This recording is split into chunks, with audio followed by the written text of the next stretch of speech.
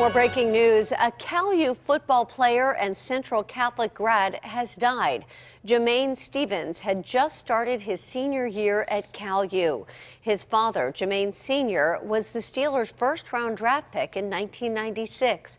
Jamain Jr. played 32 games for the Vulcans. The university did not release a cause of death.